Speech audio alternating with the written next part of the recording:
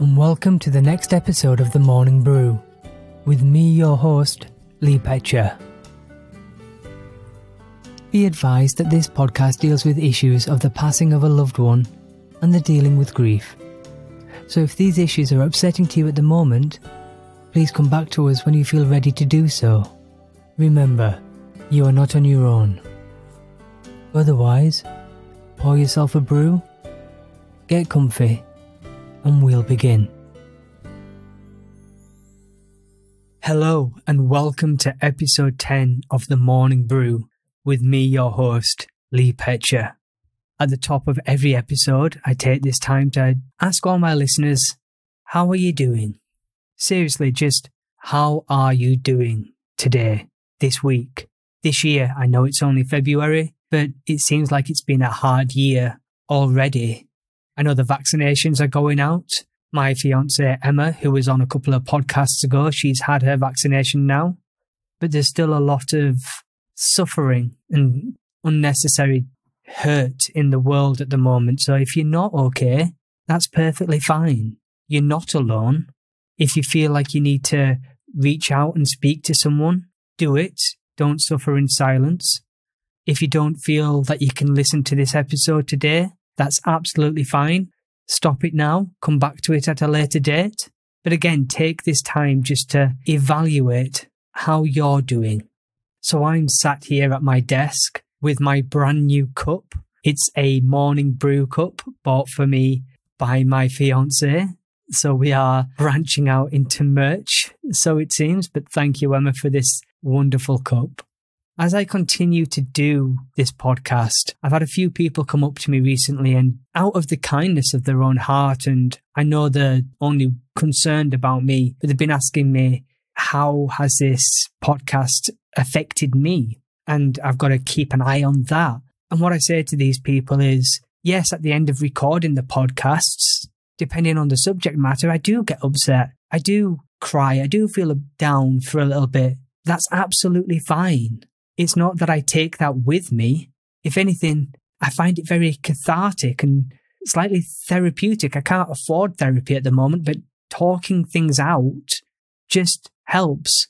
I know I'm not living here. I'm not in this grief bubble all the time. I'm here for an hour whilst I'm recording and then maybe a few hours later when I'm editing, but it's a different kind then because I'm, I'm more focused on the edit than actually the content that's being said but it's absolutely fine. And I'm discovering new things and I'm learning new things. In fact, that's something that both Johnny and Emma have said after having been on this podcast. They've gone away and said, it, it's weird. Just, I didn't realize that until just speaking about it now. And even afterwards, they've come up to me and said, it's, it's so nice just to talk about it because not often do we get chance to just talk about anything without fear of judgment, just being open and honest and just letting it all hang loose. And that is the purpose of this podcast. So yes, it's very therapeutic and cathartic for me and the guests that I have on to speak about these issues. But I want it to spark a conversation with you as well. I want you guys to go away and have these kind of conversations in your own lives and again, don't live in that moment. Don't make that the whole reason of being or that your whole week. Just make it a practice. Doesn't have to be daily, doesn't even have to be weekly, but if there's something that you want to know, now's the time to talk because when they are gone, it's too late. So anyway, this week is a, another special week. I have another fantastic guest on. Now, I'm not going to lie. I wanted this person on when I first got the idea of doing this podcast. But I was also very trepidatious and worried about how this conversation might go. Because you see, conversations with this guest can go usually one of two ways. I could end up annoying him. He could end up annoying me. We both snap at each other. But I guess that's what siblings do, right? Now there's a past about this guest that I had no idea about, which is the reason I wanted to ask him on. So this week's guest is my brother, again from another mother, but this time we do share the same father. Ladies and gentlemen, this is Joseph Russell Petcher. Russ Petcher, welcome to the Mourning Brew. How are you? I'm very well, thanks. I've uh, just done the school drop and I've had my two cups of coffee and the day's still young. So is that your morning brew of choice, a cup of coffee? Yeah, I prefer coffee over tea, I've got to admit. I thought we were brothers. I don't understand how you can like coffee over tea. That's us all over, isn't it? I like It coffee, you like tea. We are like chalk and cheese. I knew you were going to say that. so recently I've had my fiance Emma on the podcast. I've had my best mate Johnny on the podcast. And these were people that I've always wanted on. And uh, especially like Johnny to go through his kind of, he's been there with me through it all. Do you know what I mean? hmm The other person I really, really wanted on was you. Oh, thank you. when I set it up, I was like, I really want to speak to Russell about this because we've gone through our dad's and my mum's loss. We've gone through grandma and granddad's loss together.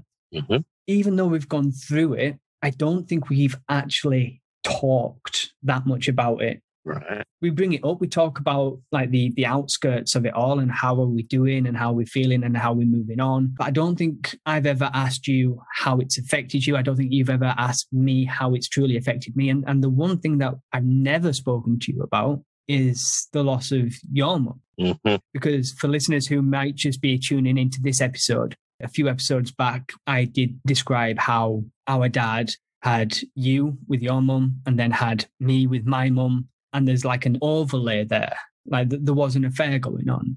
hmm And I remember moving into the the house and I knew that your mum had passed. I don't think I ever put two and two together until later on in my life, at which point I figured, you know, it's best just to keep that quiet and let bygones be bygones and just just carry on kind of the status quo with the relationship as, as things are going on. But we'll we'll get into that a, a bit later on. Is there anything to start off with that you want to talk about? Yeah, I think the, the strangest part of it all for me was the sort of like speed that things took place. So obviously my mum passed on Christmas Day and then it wasn't long after that you were introduced into the family. But the thing that really annoyed me is that there were no one sat me down and explained what were what, if you know what I mean. It's like, okay, uh, I knew your mum anyway. So you knew my mum. My dad had taken me to see your mum on many occasions before you were born. Wow, I didn't know that. and I had to come home and lie to my mum. Wow. Did you not know that? No, no, no, I didn't. I remember being in that flat in Clayton. And again, it's really, really early childhood memories because you said your mum died when you was 12. That means I was two. Yeah. So I don't know the science behind when memory starts and, you know, when you get cognitive memories and things like that. I remember the, the flat that I was living in with my mum and I knew Barry came to see us. I knew Alan came to see us. For those who are listening, Barry and Alan are also stepbrothers of mine and Russell to a different wife. And I knew Beverly, again, our sister, came to visit us. I don't remember you coming. You may have done, but I didn't know that you'd met my mum A before I was born, Yeah, and B, you had to keep that a secret from your mum. that's right. It's amazing what the power of a, a bit of pop and crisps can do for a young lad. It's a difficult one as well. Do you know what I mean? Uh, when people say, "Would you like best, your mum or your dad?" You know, I always said my dad. Is that because you had more time with dad? No, not at all. In fact, I, I think I had very little time. I, I, I was sort of like torn between the both yeah, because you know they kept leaving each other as well, and I'd get dragged off to stay with some relatives and keep it secret. And it, there were a lot of that that went on uh, throughout a lot of my early childhood. Right. But yeah, yeah, I used to take me to your mum's house. I remember she uh, were a big fan of the Smurfs. She had Smurfs everywhere, kind of like uh, you know she had cats later on everywhere. Yeah. It was kind of Smurfs, Smurfs back then. She had a big poster on wall. It was strange. It, was, it must have been in the spare bedroom. It were a, a big tiger, and it were like an Esso poster. Do you remember this? Like I think it's petrol or diesel Esso. yeah, yeah, yeah. She had this poster on wall, which I always found a bit bizarre. When did you first meet my mum then? I can't really remember to tell the truth. Like they were, were a long time ago, but I just remember being taken somewhere and staying over, and and, and then you know coming home again in the morning. And Did you know at that point that dad and my mum were having an affair or I don't think I really knew much at all, really. At that age, you kind of do see things differently, don't you? It's like, well, I don't know what this is, but, you know, they're letting me have pop and crisps and, you know, watch what I want on TV. So them little things are pretty good at that age. and when did you meet me Uh, see, that's a tricky one. I, like I say, uh, when I met your mum, she lived in Hipperholme. That was before you. And when I met you, it were at a place in Clayton. I can't remember an, an, an initial meeting, but then, like I say, once my mum passed and you and your mum came to stay with us, I don't know. I just thought, mm, why hasn't anyone sat me down and gone through this with me rather than just sort of like, right, there's some new people. I'm off to pub. See you later. yeah it's a bit rushed and a bit weird when you did meet me was i introduced you as this is your baby brother I don't think so. No, I, I can't remember exactly. I, I think it was just a, a so th- this is Lee, go out and play with him. my mum used to tell me stories that when we did live together when I moved in, you used to go up and ask my mum if you could borrow me to take me around town oh, yeah. because uh, women liked guys with with little brothers. Yeah, don't try that at home. Yeah, I remember that now. Yeah. and I know exactly what tale you're going to say as well. You're going to say about when we went to the cinema. I'm, I'm, I'm keeping the stum. If you want to say it, you say it. We were after to see one film, but when we found out the girls in front were seeing another, we soon changed his mind. Well, I changed your mind. yeah, I remember that. Can you remember the film? Wasn't it South Park? I'm tempted to say Runaway Bride. I'm not sure. It could have been Runaway Bride. It's obviously a film I'd never go to see by choice, is it? No. I mean, it's thanks to you that I got into film. Ah, I know I've spoken about this to you in, in length before, and I've spoken about it on the podcast before. Because of the circumstances of your mum's death, dad took you under his wing quite a lot, and everything was then compared to you. And I looked up to you so much as a kid. I just wanted to be you. You used to bring home these beautiful girls from school and you were dating a lot and you were popular. You could play the guitar, you did karate, and dad just sang your praises. So everything that you recommended to me, I was like, yep, I'm going to be just like Russell. So when you took me to movies, when you introduced me to indie films like Clerks and The Breakfast Club and, and things like that, you got me excited about all that kind of life. And that Christmas, when we were sat around at the, the Christmas dinner, and dad used to tell tales of you playing bottom in the, the school play. Every year, dad would say that story. Every year. And I was like, when I get to upper school and I can be in a school play, maybe then you'll start talking about me. And it's, it's thanks to you that I'm an actor today. thank you. I don't really know what to say, Lee. Uh, like I say, we both see things differently. It's just nice that you think he, he did speak to me in, in such high regards. And I'm sure he did, but it kind of annoyed me as well, if you know what I mean. Okay. I didn't like him going to that pub and telling people about how I did karate. Do you know what I mean? It, it seemed like, I don't know, I, I just didn't like it. I thought it was all about him and, you know, what he can tell his friends. Right. They weren't there, so like to see how much I hated it as well. I don't know. It's a strange one. No, that's really interesting because, like you say, you, you do see it from two different sides. From my point of view, you could do no wrong for dad. And I would have killed for any of that kind of praise to be lavished on me. And I was always, well, Russell did this, well, Russell did that, well, Russell did this. Nothing I could do would ever compare to you. Do you know what I mean? Mhm. How was it for you on your end? See, I, I didn't like him coming to things. If I ever had something big and important, or that were big and important to me, for instance, like I was playing a, a gig at a particular venue or whatever, I'd hate him coming because he were an embarrassment because he'd turn up half cut, he'd criticize me afterwards. And I, I- I just preferred it when he wasn't there. But there again, I liked him being there as well because I knew we were lucky enough to have a video camera. You know, back in them days, you know, that's the only way you did capture a performance, uh, where if you knew someone with a camcorder that could video it. So and he captured everything.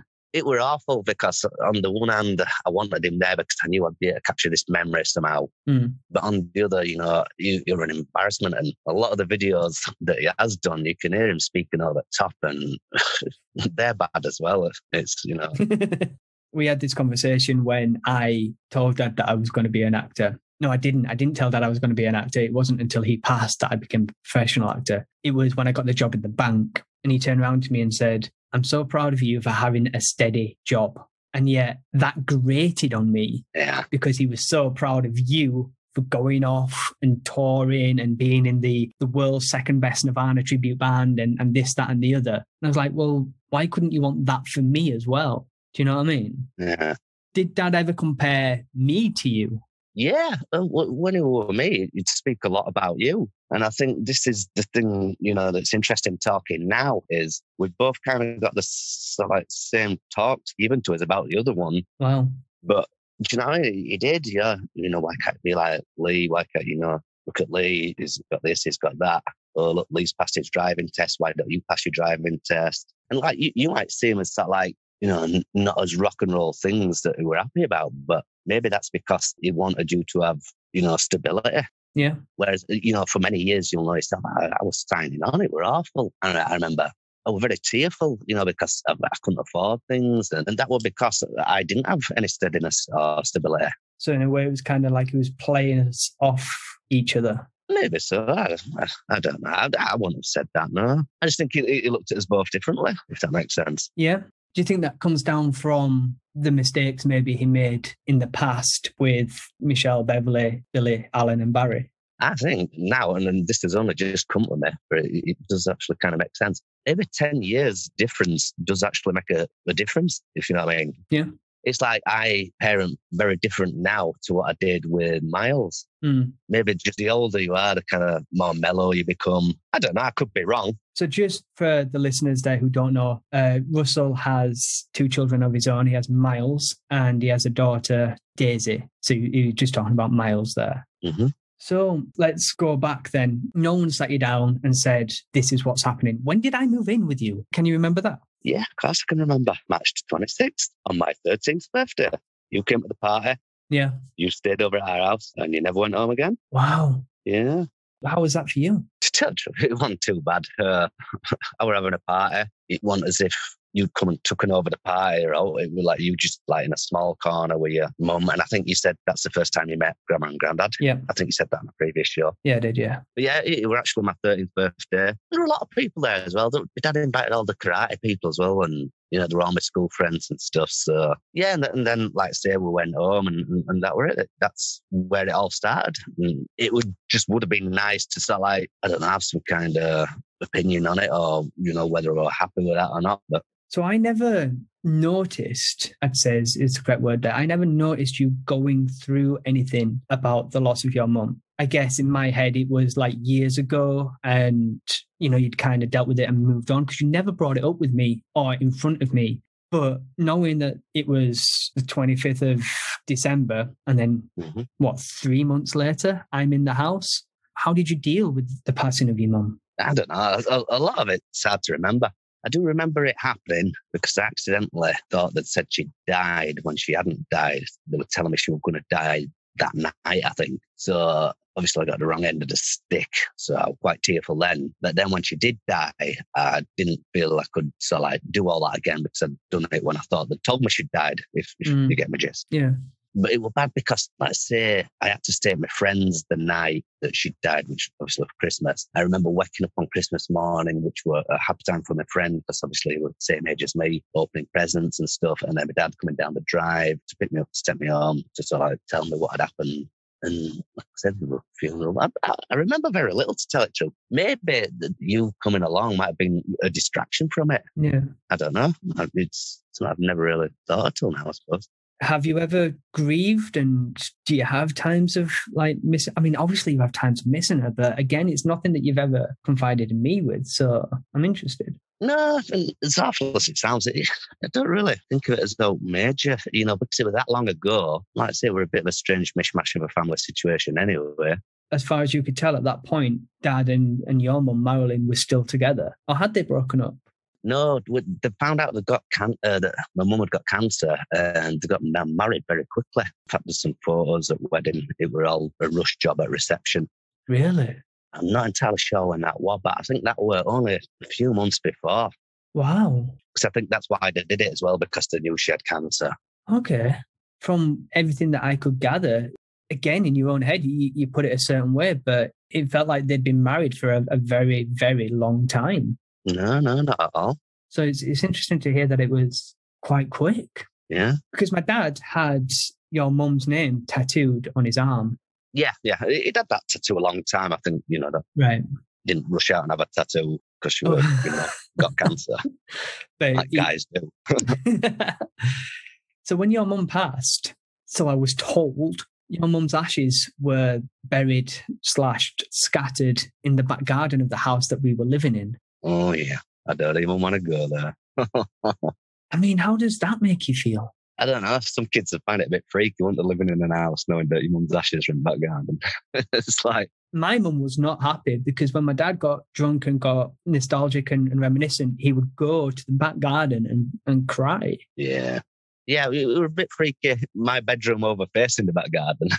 you know, there were there were a time in my life where I was a little bit, ooh, this is a bit freaky. I mean, it all seems bizarre. Why I was laughing earlier is because uh, I went down to try and get the ashes a few times when I've been drunk in the past. And what it is is one of my work colleagues now lives in the exact same house that we grew up in. oh my God. And I've asked if I can go and get my mum's ashes and you know have them properly. And she says, no, it's all concreted over. It's all done, which is sad in itself as well, I suppose. Well, yeah. I mean, one of the things that gets me every every now and again is that we don't have a headstone for dad and for my mum. Does that affect you with your mum? Because there's no place for you to go. Yeah. Uh, yeah. I, I do prefer graves to like ashes. Like I say, yeah, it'd be nice if were a grave I could go to, but there ain't. There's not a lot I can do about that. Like I say, I, I have a serious lack of photographs, uh, a lack of like materialistic things as well. But it kind of don't bother me. Right, okay. because I think you, you offered to give me some, didn't you? And I, I wasn't really particularly bothered. I don't know. Some some people like that, and some people don't. I suppose. What about for Miles and, and Daisy's sake? Would you not like photos and stuff to remember them by so you can just go like, this was your grandma before Petter, and this is your actual grandma? I think I'd I'd just wait until they bring it to table a bit on that one. Yeah, I'm not going to force it upon them. It's like, hey, look at this. Do you know that is? Do you know it is? Uh, I'll- just wait till they're old enough to like want to know for themselves. I mean, Miles is older now. How old is he? 20. 24. He's at an age now where I'd lost my dad Mhm. and you'd lost your mum. Mm. And he's, he's older than that. So does he know about your mum in order for him to, to bring it up and ask? Yeah, I, I think. Uh, yeah, So you, you've spoken to him about your mum. Yeah, because, because Miles's mum, who I'm not with anymore, obviously she she had cancer as well. So we spoke a lot while that were going on. So we, we kind of had some similarities there, I suppose. Right. So I keep coming back to this. You, your mum died Christmas. I mean, of all the fucking times, Christmas. I know. do you have any hang-ups over Christmas? Does it like spark nostalgia and things like that in you? You're not going to like this, but I actually, it sounds awful as well, but I love telling the tale to people because it, it makes them so sad. And but then the, the way I'm telling it, you know, I mean, it's how can you, you know, say it like that? You know, it's awful. I'm like, yeah, but you know, I'll, I'll play it at work. You know, I need to have Christmas Day off work. My mum died on Christmas Day. I can't face being in that. And you know, I, I am actually laughing with it. And no, I d- I don't have any rituals. I don't have any. Let's do this or let's do that or let, let's just get on with it. It's never really been that big of an issue for me. And as, daft as it sounds, and like I say, I know it sounds awful, but it's just the way it is. And I think because of that, I try and make Christmas better. If you know what I mean, I, I pull Yeah. out all the stops myself because it's like just because I've had enough Christmas doesn't mean you know everyone else should. I have had a few Christmases on my own, but I've done that to myself yeah. and and that was just a whole feeling sorry for myself thing and I, I purposely didn't see anyone and just let myself away but I'm, I'm past that now i'm like got kids now christmas is all about kids let's just you know have a good one I mean, it's so easy to go down that route of I've had a bad Christmas once. I mean, a terrible Christmas. And then every Christmas after that kind of follows suit. You just self perpetuating kind of thing. So I'm glad that you've got out of that now. And it's like, let's let's celebrate Christmas for, for what it is. Even though I've had a bad one, I'm gonna make sure you never have a bad one. it's a weird one isn't it? it's like christmas well what's the difference between whether it was christmas or you know middle of summer the, the fact that it's happened bad enough on its own just because it's happened on a particular day is like well, that's suddenly makes it worse for that person oh my god they died on christmas day that's awful I think it's because it's a day where everybody else is celebrating. Mm. I, know- what you mean I, I, I can only like kind of compare it to how my mum died on, on New Year's Day. It's a day where everyone's off work and it's the new year and everyone's bringing it in and they're all happy and the countdown to midnight and everyone's joyous. And I'm like, well, you know, it's not, it's not that for me. So Christmas is like that, but I'd say 10 times the joy because like everyone, depending on your religion, celebrates Christmas and it's a time of giving and, and family Yeah. as it is. So yeah, to lose your mum on Christmas can be a really, really hard thing. And um, it's nice to hear that when you say it hasn't affected you, it has affected you. But it's nice to hear that it, you don't let it consume you, and that you've you've taken that and you're you're moving that forward and you're giving that fuel to to make it better for for everybody else. Exactly. Yeah. So I move in. hmm You're 12. No, you're 13. I'm three. And you now have a little brother that you kind of have to look after and babysit. And there's a whole set of responsibilities that come along with that. Your mum's died. It seems like your dad's moved on. How is our relationship encompassed in that? I mean, we've had ups and downs. We've we've gone years without talking. We've gone years where we're living in each other's pockets. It's what brothers do. And I, I call you my brother. I don't call you my stepbrother. I've never called you my stepbrother. You're my brother. I don't know how how you perceive that. I don't know if you say, "Oh, Lee's my stepbrother, Lee's my brother." But like, what's been our relationship? How have you dealt with this stranger coming in effectively? See, there again, we're talking about a long time ago. I'm probably guessing that if I were around that kind of age, I wouldn't have been around much anyway. I'd have been out just doing what teenagers do. Hmm. And then obviously coming home again. Do you hold any resentments towards me, or did you hold any resentment towards me? It's just you're saying that I, I got lumbered with babysitting you a lot. Uh, Maybe I did, but I don't, I don't really recall that. I can't really see a reason why I'd have to. Because your mum and my dad weren't really big on going out together. You're saying this having to babysit you, but I I can't really think of any examples where that would have been the case. It was more of a case of, oh, Russell, you're going out, take leave with you. But there wasn't any kind of animosity, any resentment towards dad's moved on, he's got a new kid, and like jealous feelings or anything like that. Probably, say, I'm, I I know I keep going back to this. It was such a long time ago, but yeah, I, w- I would imagine I'd have been pretty act off. Not even just a long time ago, like up until till kind of now. I reckon I probably were act off, but I'm not now. That makes sense.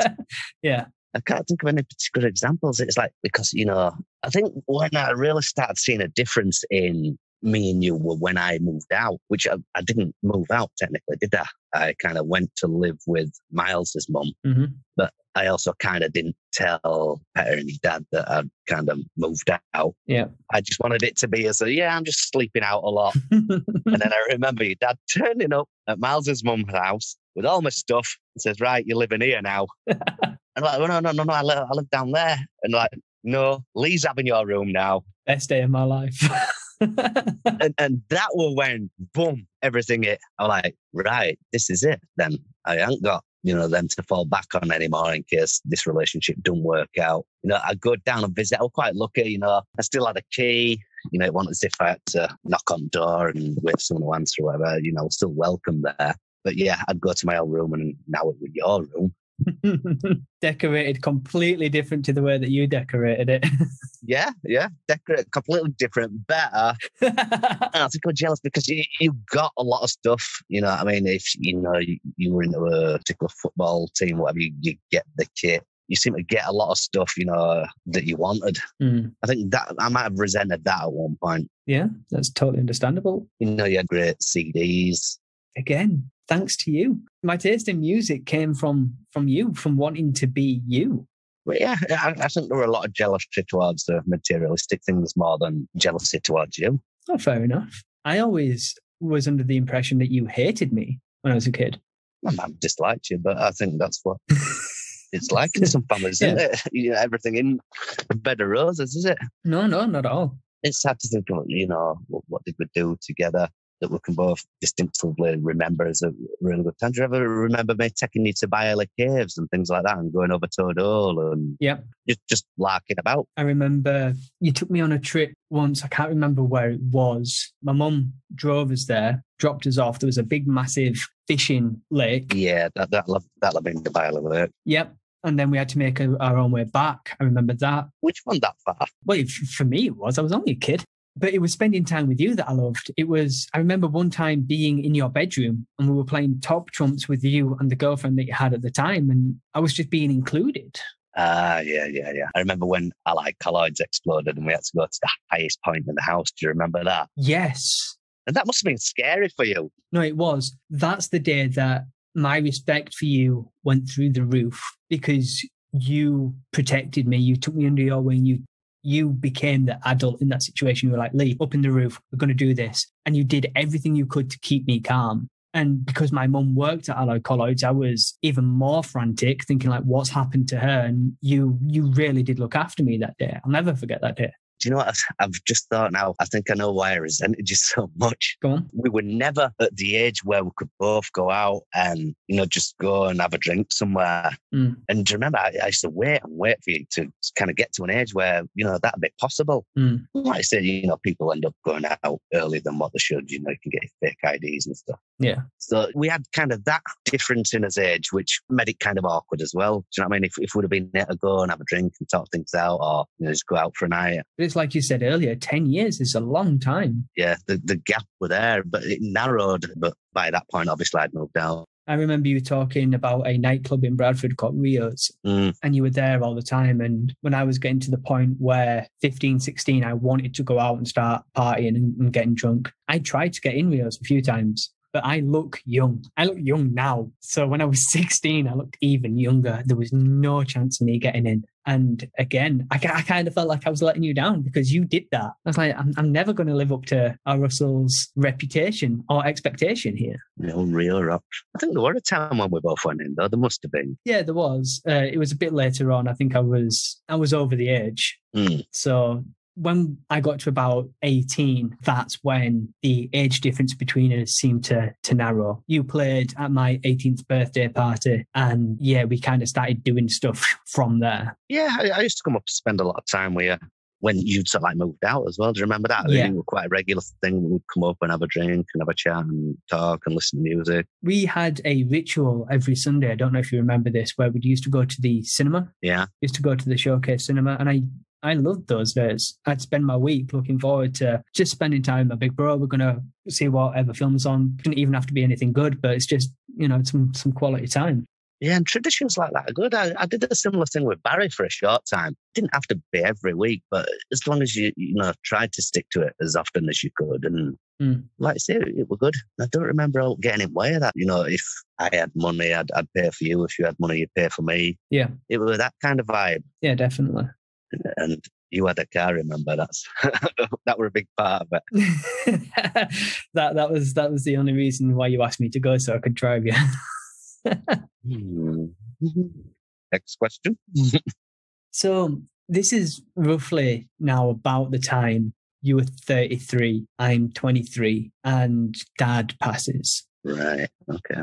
And you said something around this time and I knew you were joking, kind of, but I I now say it. You were technically an orphan. Yeah. You're 33 uh-huh. and an orphan. So you relied a lot on my dad after your mum passed. Yeah. Because he was your I know my mum took you in as her own and she did look after you and she, she, you know, she classed you as her son, but genetically, dad is your only guardian and parent now. Yeah. And he had a, a, chat with me before he passed and he said, look, when Russell's mum died, I did kind of smother him a bit because I didn't know what else to do. Mm-hmm. And I, I, can only imagine like that bond between you and dad must have been strong, even though he annoyed you. And I mean, that's, that's what parents do, right? But, you know, he, there was nothing he wouldn't have done for you that you needed. And I remember dad's death hitting you really, really hard. Do you want to talk to us about that? When he moved down to Mablethorpe, that were kind of uh, like point in time for me where I'd start thinking that, yeah, I'm not going to see as much of him as what I'm used to seeing. Yeah, he moved down Mablethorpe, he come back up. It wasn't a regular thing. I had to try and, you know, get lifts down there so that I could see him. You, you took me a few times, uh, and then sometimes he'd come and pick me up. Yeah, it's yeah. I never, I never even thought about that. I could just go at a drop of a hat with the, the car, but you needed to make provisions to get down there. So that that kind of hit me hard. And then one thing that I've always done this your mum, and I did it with my dad as well. I try and visualize what's going to happen. When am I going to get that call? What feelings are going to go on? And it's wrong, and it doesn't really work. But it's something I just did. It's like, okay, it's going to happen one day. How's it all going to take place? Am I going to get a phone call? Uh, is someone going to come knocking on my door? And then they're going to tell me, and then what do I do from there? You try and sort of like get an idea of how it's going to be. You, you think if you can kind of half get it in your mind what's going to happen, when it actually happens, it won't be that bad because you're kind of already sort of prepared for it. So it's like preparing for the worst. Yeah. You know, I prepare for situations that, you know, probably won't happen, but it doesn't mean you can't think about them and think, well, what would I do if this did happen or if, you know. And do you think that helped? Probably not, no, because you think, because you've prepared it in your mind. It's kind of like, you know, being in a play, you, you know exactly what's going to happen and where it's going to go. But it, it didn't work like that at all. You know, I knew one day I was going to get a phone call off you. And I kind of, and I know we're skipping a bit here, but like when you did phone about your mum, I kind of knew what the call was before I'd even answered it. Yeah, you said that to me before. Mm. The thing that I do distinctively remember is I just dread of seeing you after your mum and dad. It was like awful. I thought, he's going to wait me. I thought, I need to be there. They might not like me being there. Why? Why did you think that? I don't know. I just had it in my head that this wasn't going to play out right. I just thought, you're going to, I don't know if it's the right word or not, resent me, you know, uh, that it wasn't my actual mum and that it was your mum. I kind of felt that there might have been some of that going on. And we came down, didn't we? Me and Uncle Trevor and Auntie Eileen. We met the outside pub. Yeah. And we were there. And it was like, oh, God, I thought he's going to punch me in the face. This is going to think I'm rubbing it in. I think there were a lot of that going on as well. And uh, just the first thing he said, I thought, oh, wow, it's going to be all right. He just came up to me like, now I know how you felt. Mm. And I suppose you did. And I don't know why I didn't think that you wouldn't know how I felt, but it, it was just nice that, well, not nice, because obviously it's not nice, but no, no. We've both got this thing now that only us know. Do you know what I mean? What it feels like for both parents. So it were once you said that and you were cool with it all, I was like, yeah, it's all right. It's not going to punch me in the face now. I did notice when you came down that you were being distant with me to start off with. Yeah, I, I don't know. I thought how far up am I in the who, who we want to be around and who we don't want to be around sort of like category? Well, like I said earlier on in this podcast, you, you and my brother. And I know it wasn't your mum who passed, but you did spend an awful lot of time with my mum. And from what I've learned, you spent more time with my mum than I actually spent with my mum. I didn't realize that you'd met her before I was born.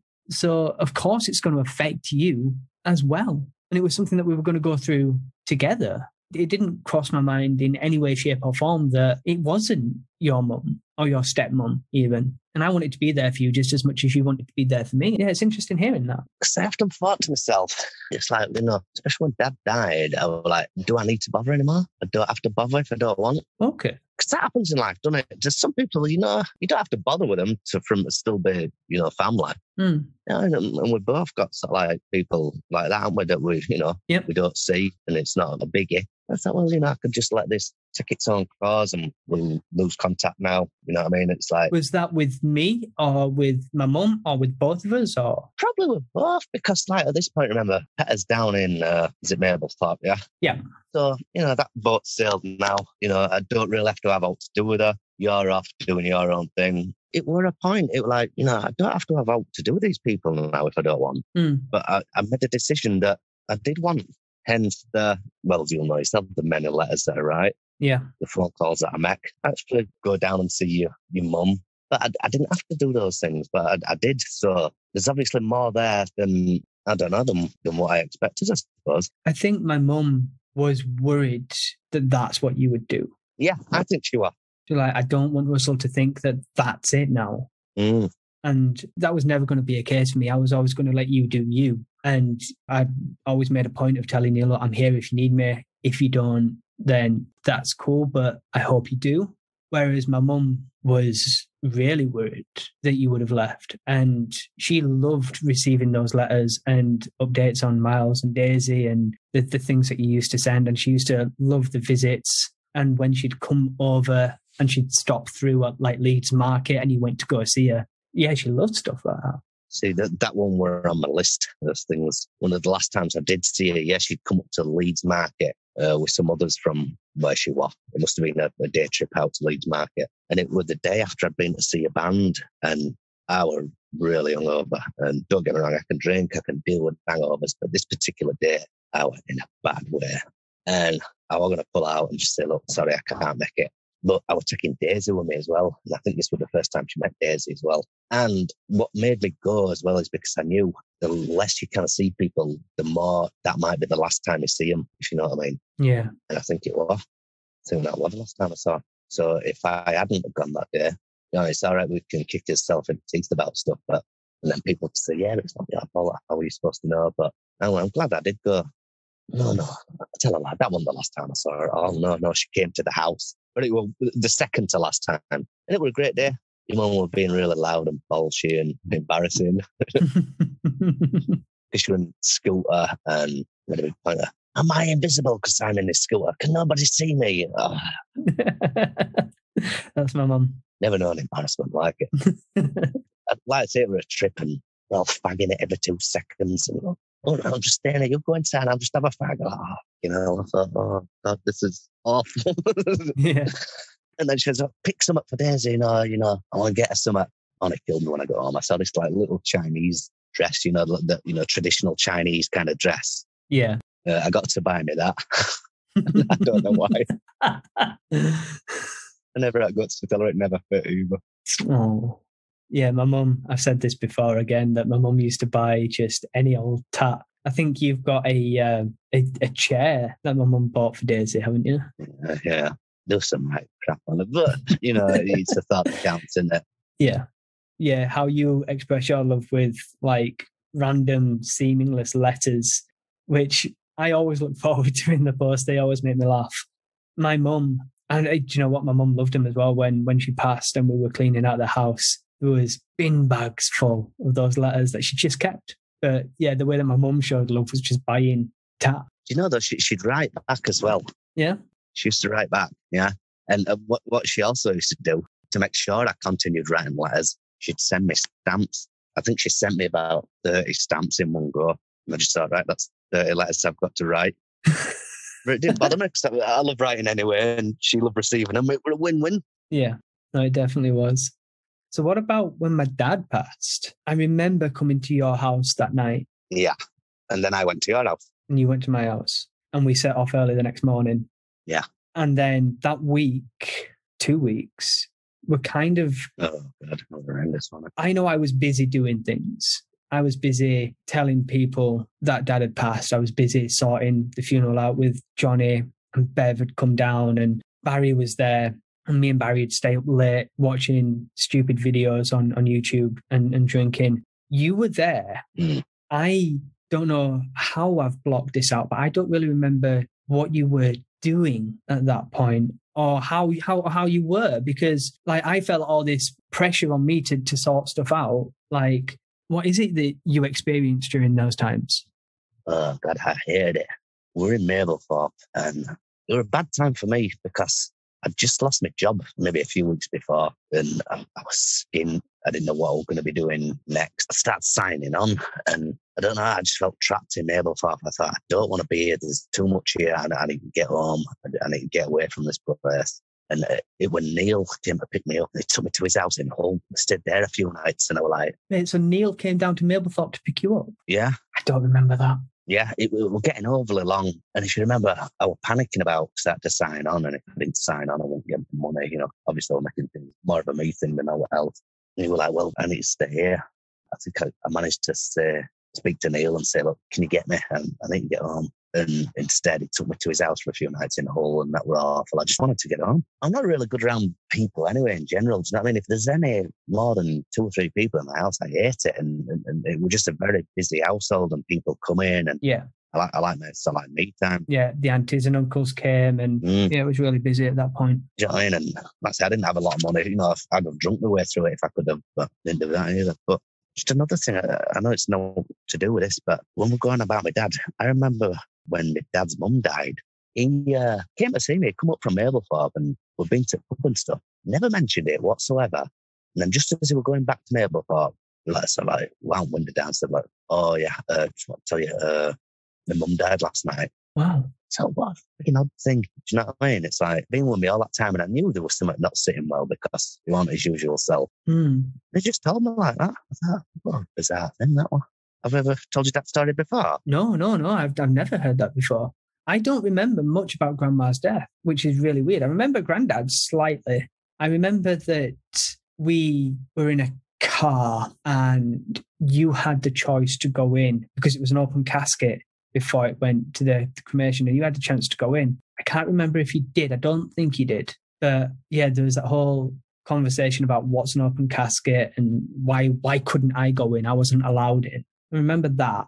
I, I went to see Granddad. It was bloody awful, and that's when I decided never to see another dead body again if I could help it. Yes. That's why I never saw Dad's. No, you did see Dad's. No, I didn't. You you were in the room. Honestly, I swear. You were in the room at the hospital. Did you leave? I went to the hospital, but I didn't go into the room where the body was. I know. I remember you in, but they didn't pull the cover back to start off with. No, no, no. Honestly, seriously. It were in Boston, wasn't it? Yes. I was like in the waiting area, whatever. Everyone went in and then they came out. No, honestly, seriously, I didn't. Wow. No, that's that's weird. I thought you were in the room. I know Bev was in it. No, no. I'm, I'm very against it. It's like, like I, I didn't see your mum's body. This is just not something that tickles my fancy, really. It's like, That's fine as well. You don't need to see. I needed to see. I needed to see Dad's to make sure it was true, and I needed to see my mum's to make sure it was true because I wasn't going to believe it otherwise. But I know yourself and other people that, that don't want to see the dead body. They want to remember them as they were alive, and that's totally fine as well. There's no right or wrong in any of this kind of situation. You've got to do what's right for you. Some people go in and see the dead body, and then that's all they can think about, and they'll have nightmares and they'll regret it. Some people won't see it, and then they'll think, well, what if they're still alive? What if I just bump into them and it, it's all a ploy? So you, you've just got to do what's right for you at the end of the day. yeah. So yeah, this is interesting. Going on on grandma's funeral and, and death, like, is there anything there that you can fill me in on? Because I, I don't remember. I vaguely remember. I remember your granddad's. That's kind of when I just started seeing Mel. And then Grandma die after? She must have done, didn't she? Yeah, grandma died a few years before dad. Mm, I don't remember that in great detail. I remember Weird, isn't it? my dad telling me. I remember not seeing the body. Oh, tell a lie. I do remember. That is when uh, we saw Billy, wasn't it? Hmm. Yeah, I remember it now. We had reception, well, not, sorry, uh, wake. Yeah, because I had a gig that night, I remember. So I had a gig in Eden with to Ben. So I had to watch my drink, Yeah. which, you know me, it's, uh, with it being a funeral as well. yeah. I imagine uh, that gig didn't go down so well. But yeah, I do remember it. I remember Jolene, uh, my Uncle Billy's daughter, were walking in the room. I thought, bloody hell, she's gorgeous there. Do you know what I'm on about? I don't know any of Billy's family. I, I wouldn't even know Billy if you pointed him out to me. I never met him. But yeah, that's when Dad went over to Billy Yeah, and try and shake his hand, and Billy had nothing to do with him. yeah. And uh, I had contact with Billy a little bit after that. Right? I think, eh, you know, I mean, it's like there's two tales to a story. So Yeah. we're in contact for a little bit. But now more so, I think it's his son on Facebook, Gary Schofield. He seems to be quite an interesting character. He seems to like a lot of my stuff and we seem to have a lot in common. But it's one of them things. It's always just probably going to be a Facebook friendship and never go beyond that. Yeah. No, that's that's fair enough. Yeah, like I said, I've never never met Billy. I wouldn't know him from anybody in, in the street. Yeah, we kind of took a bit of a, a detour there. Yeah. Dad's funeral, I remember asking you if you wanted to say something like beforehand, and you'd said no. Yeah. And then on the day, you said, Do you mind if I do? And I was like, Of course, I want you to say something. What changed your mind? And Uh, I think it were not knowing what to write. I think what changed my mind from it, and it's an odd thing to have happened because I hate the guy. It were Richard, Jess's dad. Do you remember Richard, who used to be in a band with? yeah, Some Fifth Do and Winded Miller. yeah, yeah, yeah. And uh, I were in a band called Idiot Box with him at the time. And I think he was telling me about his father passed and he'd sort like said something uh, it kind of along them lines, you know, if you don't, you're kind of going to regret not saying oh. So I was worried because I was thinking, what do I write? You know, I don't want to write something. Anyway, I, I managed to spill some stuff out and I just left it at that basically. I remember resenting you that day, Yeah, no, you've said this. not for that, kind of for that. It's the fact that I'd built myself up to be kind of like the only speaker, and I I'd done this eulogy poem, which I've released Mm. on another podcast, and then you got up to speak, and I was all for you speaking. I wanted you to speak. That isn't why I resented you. It's the fact But I, I spoke first, didn't I? I can't remember if you spoke first or I spoke first. I, I can't remember the order of that. What I resented you for, it wasn't your fault. And I realized it wasn't your fault. But at the, the time when you're just in that mindset and that, that frame was everybody came up to you at the end of the funeral and said what a good job you did. Everyone came up to you and asked how you were. I was kind of pushed back again. And I was like, did, did you not see me in there? Did like quoting my mum, am I invisible? Me and my mum and, and Johnny kind of did most of the funeral planning and sorting everything out and making sure that everything was right. I, that was all me. And it's stupid to be jealous about. But I was like, why, why is everyone going up to you? And then there was the gig. Oh, you're going to mention the songs, are you? Oh no, the songs are the songs. That was that was between you and Leslie. That that was something that I wanted to pass on to you, and then you wanted to give to Leslie, and then that's absolutely fine. It was the the charity gig afterwards. All right, yeah. That you organised, and again, it was like all the praise came onto you, and I was like, motherfucker, do you know what I mean? I didn't go to it, remember? No, I know you didn't. But you you organised it with Leslie, though, didn't you? To start off with. No. Didn't you? No. I started off and then he just had his own ideas. I mean, it was in the T&A with your picture. Oh, yeah, I, I got it in there. You see, the thing with the speaking thing, everyone knows that you do the acting and stuff. So I knew you'd do something and deliver it pretty well. Do you know what I mean? Mm. But you were the front man. You were the guy in every band that people wanted to watch. You and dad had that in common. Mm. You could both draw a crowd and entertain them. And I think that's what people were responding to. Mm. Like I said, it wasn't your fault. And it was me in that time being angry. I, I would feel the same. I would feel exactly the same if I were in your shoes, without a shadow of doubt. In fact, I'd, I'd feel even more fucking act off. I'd be like, I mean, especially if you. In fact, it was from there onwards that I didn't cry.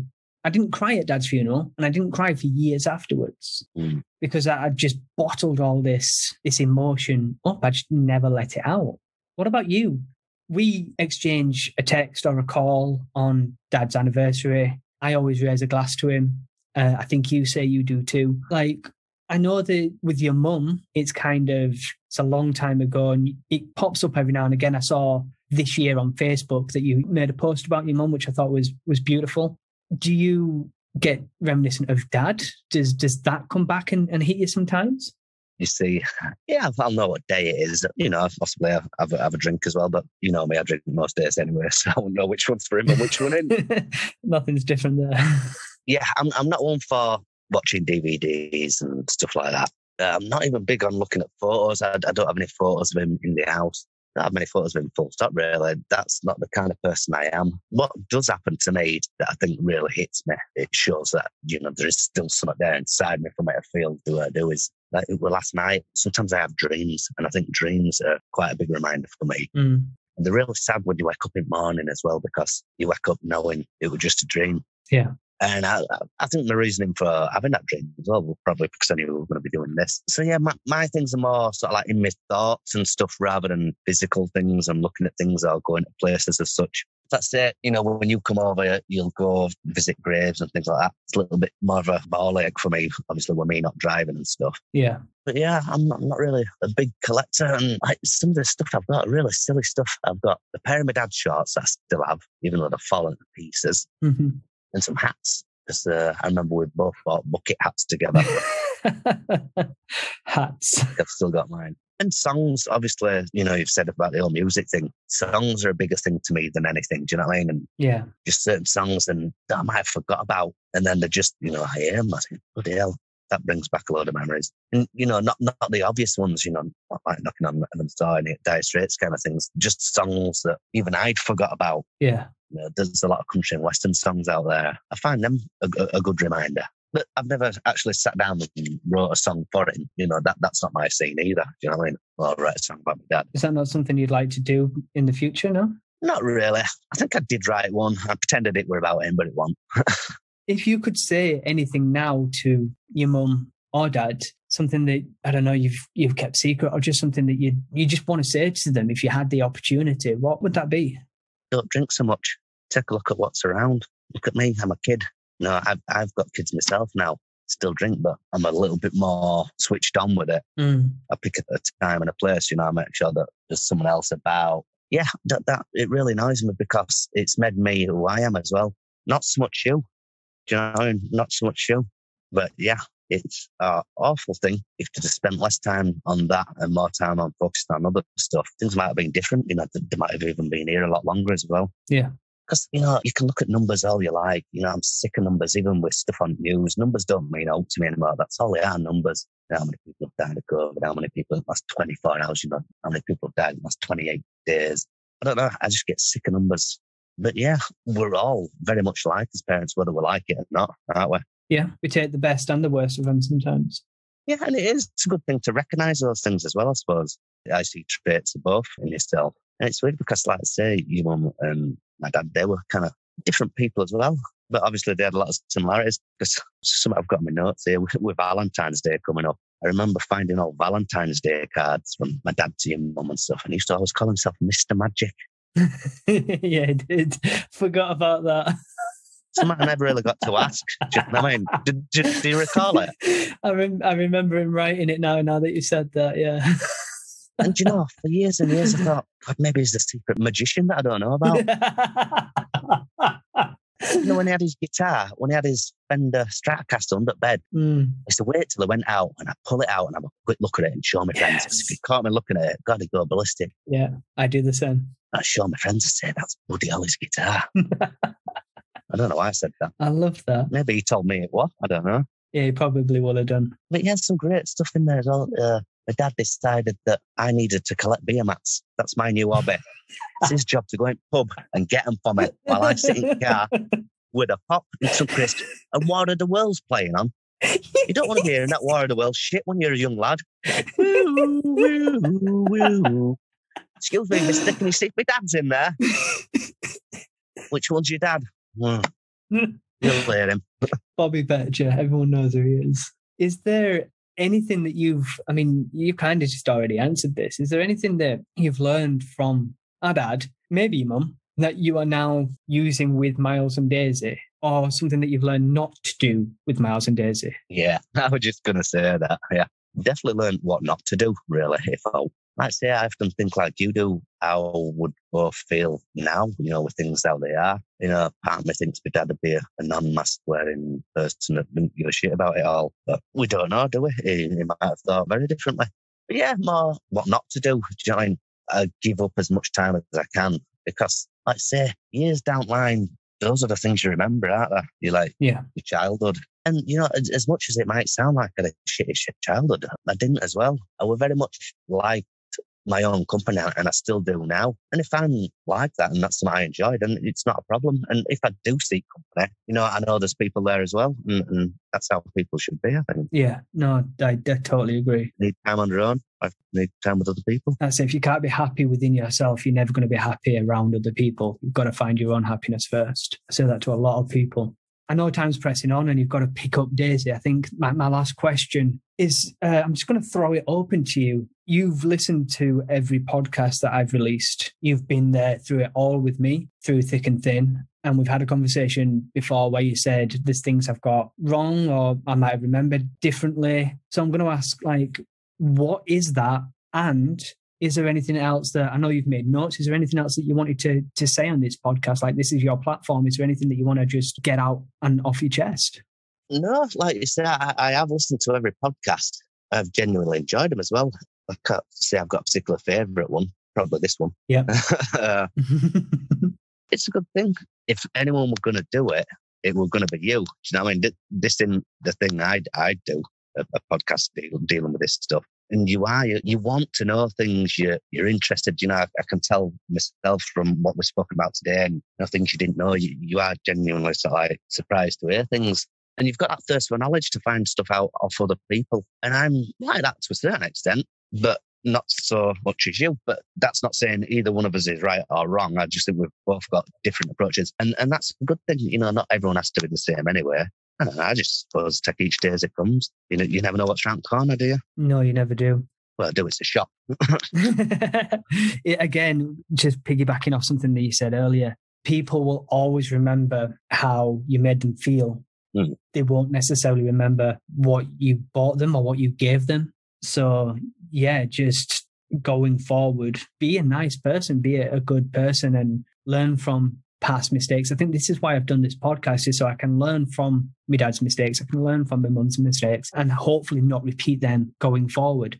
You've said to me many a time that anybody past the age of 30 who hasn't had a kid is weird. Yeah, I still stick by that. here I am at 36. Weird. Still don't have a kid, which is, you know, a- another bone of contentment I, I had was like, my dad loved Miles. He loved Joe. He would have doted on Daisy. And I never had the chance to give my mum or my dad any of that. And you did. I want to sweat the small stuff. he had a lot of grandkids, I'm sure it tired He him out. did. No, he definitely did. Guys, if you want to keep up with Russell, if you want to thank him, if you want to talk to him about anything that we've spoken about on this podcast, you can find him on Facebook, facebook.com forward slash UkeDad, where you can find many, many videos of Russell and my gorgeous niece Daisy playing the ukulele, just being silly and bringing joy and fun and entertainment to everyone. They are local celebrities down in Cleckheaton where they live. They've been all over the news in various newspapers and magazines across the country. They're also branching out onto TikTok where you can find him at Rusty Pops. Yeah, why Rusty Pops? I don't know. I don't even know where it came from. Did you think of it? No, you you started calling yourself Rusty Pops, and then you draw that little caricature that you always used to draw. Uh, I, I haven't drawn that for years, you know. and yeah, I used to love that. Yeah, many names. Many names. He has also set up a brilliant page on Facebook. Like you said, you, you don't want to get into the, the grief and the mourning side of stuff, but you do want to actively learn and seek out knowledge from other people. This Facebook page is called What Dads Want, and it's giving voices to dads, essentially, because not trying to be generalistic or anything like, but a lot of the voices do come from mums and, and women. So I think this is a nice place for dads just to go and get things off their chest and things like that. Do you want to tell us a little bit about that? Yeah, it's a project I've always, always wanted to do, but never bit the bullet and done it. Sick of all these mum sites. And fair enough, you can go on, but you still get kicked off if you're not a mum.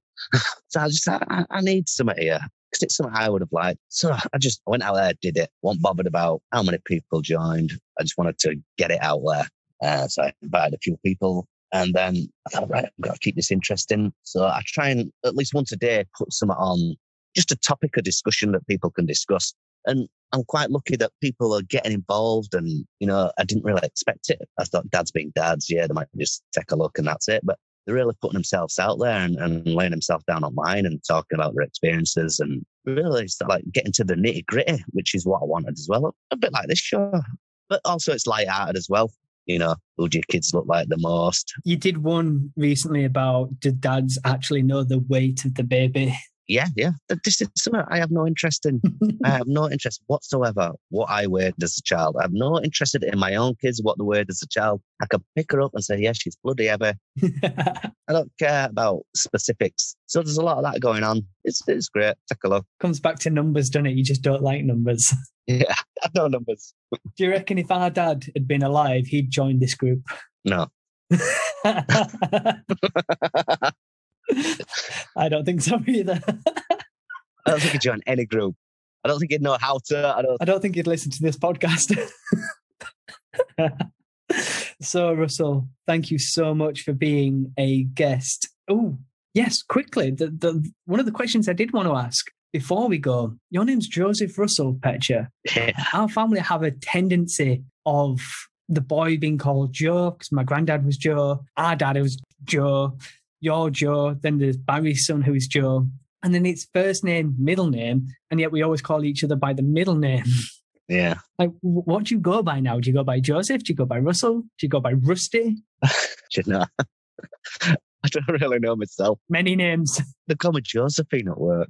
Yeah, I, I really don't know who I am. We'll sort that. We'll we'll have more conversations and find out who you are. Yeah, I, I'm just looking at some lyrics I wrote today. Is it what it is, or who I am, or what I'm supposed to be? Something like that. Excellent. Well, yes, please do drop Joe, Josephine, Russell, Rusty, Rusty Pops, Uke Dad, you, Dad. Just drop him a message. Say thank you. scooter face. Subscribe to his TikTok if you're on TikTok. Join his Facebook groups. Honestly, they are so cute. Daisy steals the show every time. Sorry, Russell, she does. There's a new picture taking the spotlight now. And thank you for for being on. Thank you. Wow.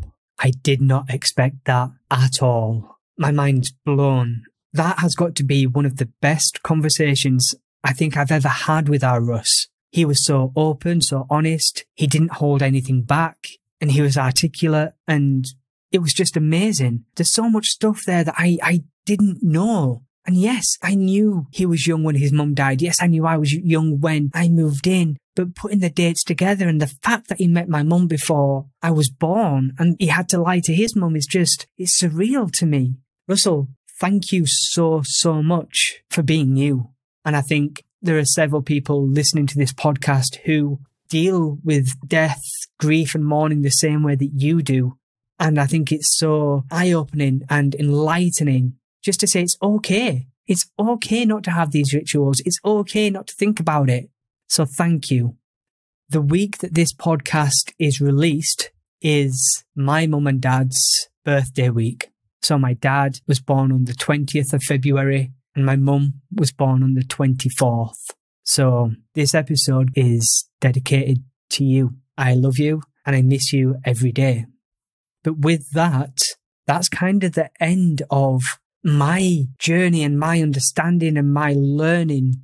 Well, it's never the end of my learning, but it's kind of the end of this section of the podcast. I've told you what I've gone through with my grandma and granddads on both sides, my best friend Clint, my mum, my dad, how my fiance helped me through, how my best friend helped me through, and learning about my brother, learning things that I never knew about him and, and his side and how it affects me. Now, I have no doubt that I will continue to learn. I, have got more to learn from aunties and uncles and cousins. And if any of them want to come on the podcast, you know where to reach me. I'm more than happy to have you on. But for the future of this podcast now, it's, it's in the hands of the guests. It's in the hands of you.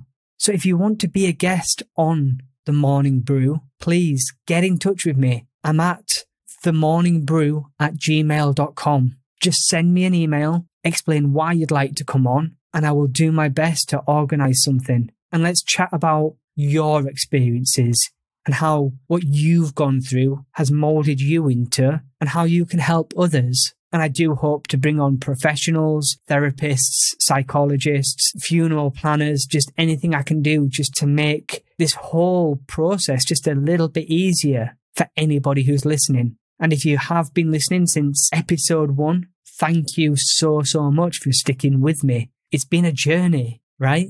And these podcasts are getting longer. In fact, Russell did say before we started recording, he used to love listening to these podcasts when they were shorter. And I get that because you can just have it on. It's only half an hour. But the more I delve deeper into other people's journeys and what they're going through, the conversation just flows. And before you know it, an hour has passed. So please bear with me for the longer episodes. And again, if you want to pause midway through and come back later, that is absolutely fine.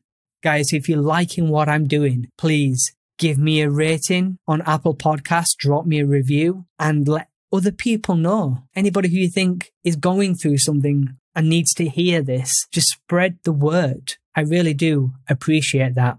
Also, drop me a like, a follow, a retweet on all the social medias. I am at the Mourning Brew on Twitter and Instagram and facebook.com forward slash the Mourning Brew on Facebook. I'm also on LinkedIn. Don't really know what I'm doing on LinkedIn. I'm making it up as I go along, but there I am. Also, for the Apple listeners, although if you're listening to this in the future and you're on Android, I'm sure it will have dropped for Android then. But I'm also on Clubhouse and I aim to do some live chats with people. So get the Clubhouse app and I'm sure to meet you there. Anyway, guys, this has been another long one. Thank you so, so much.